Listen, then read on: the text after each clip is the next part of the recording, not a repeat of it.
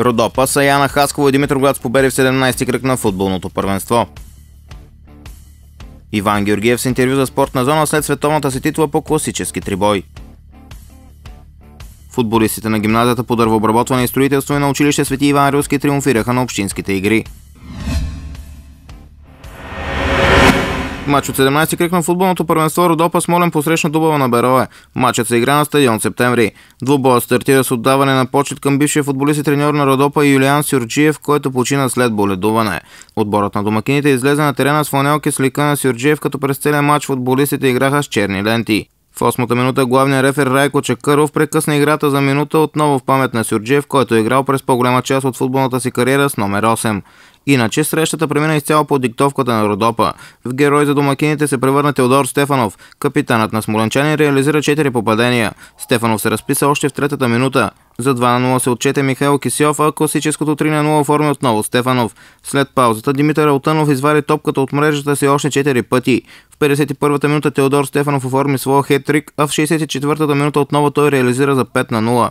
Останалите две попадения за родопчани отбелязаха Борислав Семецки и Елмир Мустански. С победата Родопа натрупа 24 точки на 12-то място. Четвърти в таблицата с 38 точки са Яна Хасково. В друга среща от кръга червено-белите победиха с 1 на 4 Сокол Марково. Саяна поведе с две бързи попадения на Милен Танев. Той се разписа в четвъртата и в 15-та минути. Домакините намалиха чрез Станимир Марински след час игра. Малко по-късно обаче Ахмед Осман беляза поредния си гол и уби интригата. В 80-та минута Христо Христов оформи крайното 1 на 4. Успех записа и Димитров град. Синьо-жълтите се наложиха с 2 на 0 над аутсайдера Сливен. Резултатът бе открит от Димитър Алексев след асистенция на Мирослав Илиев. За 2 на 0 се разписа Филип Сантов. Тук асистенцията бе на Алексиев. Димитровград натрупа 29 точки и след силната си серия в първенството вече е на седмо място. Лидер продължава да бъде Спартак. Пловдивчани спечелиха гостуването си на Карнобат с 0 на 2 и с актив от 42 точки. Втория в таблицата на Себър победи Левски Карло с 5 на 1, а третия гигант загуби с 3 на 0 от Загорец. В останалите срещи от кръга Ботев победи с Озопол с 4 на 2, Атлетик се наложи над Ямбол с 3 на 2, Розова долина бия Сеновец 2 на 0, Локомотив Плодив се наложи над Секирово с 2 на 1. Следващия кръг са Яна Хасково приема Родопа. Матчът е на 18 ноември от 14 часа и 30 минути. По същото време Левски приема Сливен, Секирово е домакин на Димитровград, Гигант е домакин на Локомотив, Загорец гостува на Сеновец, Карнобат на Ямбол. Беро играе с Ботев, а Несебър се среща с Сокол. Час по-късно е двубоят с Опо срещу Атлетик. В неделя е матча между Спартак Плодив и Розова долина. Иван Георгиев е многократен републикански шампион по силов трибой, 19-годишният Хасковле и световен първенец, както и европейски вице-шампион. В началото на месец ноември към витрината с успехи той добави три медала от Световното университетско първенство в Словения. Преди дни той се завърна в Хасково и се срещна с екипа на спортна зона, за да разкаже за състезанието. В Словения, в Кранска гора, в един зимен курорт, много яко местенце. Състезанието беше много добре организирано. Друг път всеки път забелязвам нещо, дето не ми харесва. Този път не успях да се фана за нещо. Иначе специално за мен премина много добре състезанието. Беше много спорно. Точно това, което на мен ми харесва. Класирането постоянно се менеше. В началото бях десети след клека, след лежанката вече бях трети. После след първи опит на, на тягата да обясним, че нали, всяко движение има по три опита, да дигнеш колкото се може повече. И след първи опит на тягата пак бях отново пети или шести. А, и вече до трети опит на тягата успях да, а, да стана първи. С само 2 кг и половина преднина пред втория. И интересното беше, че а, първата петица а, между първия и петия състезател имаше само 20 кг разлика. Тоест беше наистина много спорно. Георгиев стигна до световната титла в категория до 120 кг с тотал от 767 кг и половина. Освен трофея в три боя, Хасколета спечели златен медал на лежанката и сребърен на тягата. Помогне на отбора на НСА да се нареди на второ място в комплексното класиране. 250 а, клек, 250 кг, 202,5 лежанка и 315 тяга, което общо прави 767,5.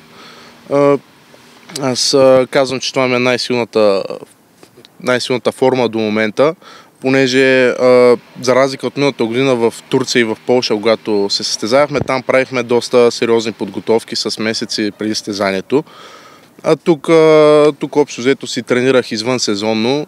Нали, има много голяма разлика, понеже извън сезонното трениране се трупа прогрес, трупа се сила, трупа се маса, но идеята на подготовката за състезание е малко да, да специализираш тази сила, да мога да я фокусираш в точно дадения момент. А този път не, не направихме такова нещо, просто защото нямахме план да се състезавам тази година, излезна просто случайно това състезание. Всъщност да, беше споделил последния път, когато се видяхме, че а, така ще се дадеш малко почивка, тъй като при мъжете вече е по-сложно да се постигат големи успехи. Сега обаче два месеца каза горе-долу, че се е подготвил.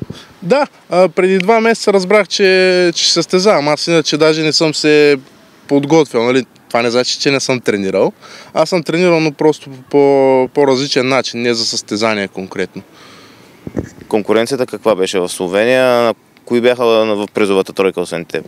А, мексиканец. Мексиканец беше след мен а, и трети беше финландец. Имаше хора от цял свят, американци, французи. А, доста, доста интересно беше. Доколкото разбрах, над 50 държави са имали отбори. Да, над, над 67, от 67 университета. Точно така да, да поясним, че също е университетско световно първенство, се състезава за НСА. А, има ли разлика между университетските и другите така световни и европейски първенства в силовия трибой? Да, има, има разлика. Нали, университетските са само за, за студенти. До, това състезание имаше до 25 годишни а, състезатели. А, да, има доста разлика. Примерно а, на младежите до 23 а, има доста по, по-така сериозни състезатели. А, ние затова го бяхме така планирали да, да, да си дадем няколко години не почивка, просто подготовка да мога да сме конкурентни. А, но това излезна перфектно на такова междунно състезание с а, ли, точно как да кажа, конкуренцията беше точно на моето ниво и беше много, много интересно наистина. Носиш медалите с теб. Има ли вече място у вас за други неща, освен за медали? Скоро ще трябва да слагаме нови стойки на стената. Сега, след това университетско първенство, какво предстои? Ами, все още не сме, не сме набелязали календар за, за до година кои състезания ще участваме. А, има лятото пак а, такова студентско а, първенство. То е, това състезание, което беше сега в Словения, беше квалификация за това първенство. То се провежда веднъж на 4 години. А, лятото ще мисля, че юли месец. В полезрението е пак така като една междинна станция, но главната цел в близките години си ми остава състезание за младежи до 23 години световно. Отново се подготвяше с брат си, който също преди беше състезател. На кого друг така можеш да благодариш за формата и за подготовката? Ами а, за подготовката конкретно единствено, единствено брат ми а, отговаря. А, изключително съм благодарен на професор Валентин Панайотов от НСА и а, Тодор Василев, а, понеже те бяха постоянно до мен на, на самото състезание, нали, помагаха ми а, чисто на състезанието, нали, следяха класиране, казваха ми, даваха ми съвети колко да, да сложа. Добре, значи казахме, че вече до година почивка сега малко. Ми, тя почивката при нас е седмица-две. Ние пак си продължаваме да тренираме. Пак така извън сезонно, без а, много специфика в тренировките, нали. Вече като решим някое състезание така да ни е по-голям приоритет, тогава, може би 2-3 месеца преди това, почваме да, да сваляме повторенията на, на движенията, до едно-две повторения да може, нали, защото то състезанието е едно повторение, това е, това е важно за нас. А сега тренираме по, по-обемно за... Просто защото, нали, когато, когато е извън сезонна подготовка, то тогава реално е истинския прогрес. А, когато започнеш да тренираш за състезание, тогава просто оформяш а, тази сила, която си натрупал, да можеш да я приложиш. Казахме не сега, да кажем какво всъщност реши да учиш, свързано ли е с, с това, което се занимаваш сега? Абсолютно свързано е, силов трибой. Да, такава специално за треньор. Но аз съм нали, на индивидуална форма. Не ходя много на лекции, просто си тренирам там. И нали, си действам по други задачки. Тоест може да се каже, че след като приключи с активна състезателна кариера, макар че в силовия трибой така до, още имаш доста години а, активни, а, може да се насочиш и към тренерската професия. Абсолютно да. да. Това, това дава тази специалност. Мъжкият баскетболен отбор на Хасково записа втора загуба в първенството на регион Юг. В дербито на кръга Хасколи отстъпиха на Хебър Пазарджик. Домакините спечелиха за 106 на 95 точки. Матчът бе много спорвана, решаваща бе последната част. Хебър взе първата и втората четвъртини съответно с по 27 на 26 и 30 на 25. След паузата Хасколи намалиха и спечелиха третата част 30 на 26. Така всичко се решаваше в последната част. Домакините се активизираха и я взеха с 23 на 14. Така Хебър излезе еднолично на първото място. Тимът от Пазарджик е с пълен актив от 5 победи. Хасколи са втори с 3 успеха и 2 загуби. В изминалия матч за победителите най-резултатен с 34-те си точки бе Христо Бъчков. За Хасково с 26 точки се отчете Кристиян Желев. Междувременно победа и загуба записаха юношите на Хасково. В първенството до 16 години възпитаниците на Виктор Колянов отстъпиха пред Академик с 49 на 69, а в следващата си среща разбиха Хебър с 81 на 29 точки. Връщаме се на тема футбол. Изиграха се финалите на общинските ученически игри в Хасково. При най-малките до 7 клас момчетата на училище Свети Иван Рилски триумфираха след успех на финала с 6 на 0 над отбора на училище Любен Каравелов. За трето място тимът на Христо Смиренски се наложи с 7 на 0 над отбора на Свети Климент Охридски. Голмайстор в тази група с 10 попадения стана шампионът по джудо от училище Свети Иван Рилски Владимир Тодоров. При по-големите до 10 клас общински първенци станаха футболистите на гимназията по дървообработване и строителство, които на финала победиха с 5 на 0 езиковата гимназия. В битка за бронзовите медали природо-математическата гимназия се наложи с 5 на 2 над гимназията по туризъм. Голмайстор с 8 попадения стана играчът на професионалната гимназия по дървообработване и строителство Васил Колев.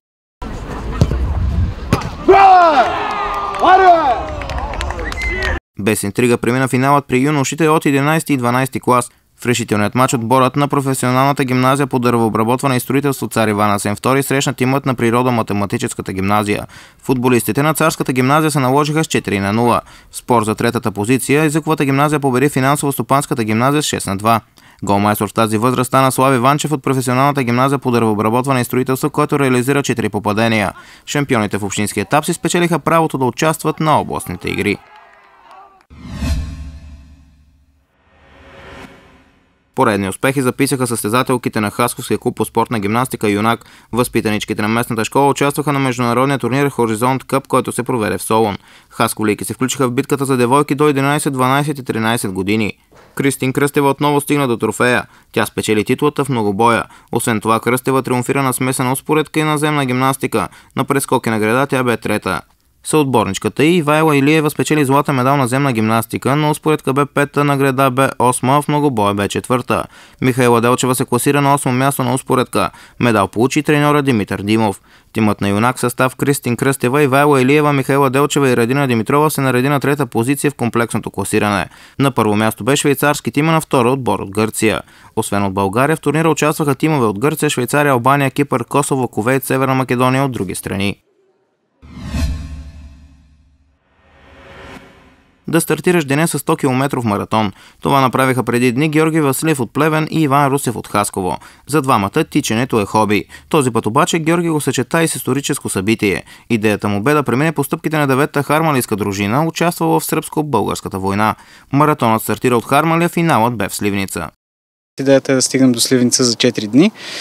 А, и а, нали, по-общо казано, понеже нали, бягането ми е хоби, нали, исках по някакъв начин да прокарам някакъв такъв по-дълъг маршрут, който не е правен до сега в България и да, нали, евентуално да се популяризира и да го пробват и други бегачи. Първата спирка на бегача бе в Пловдив.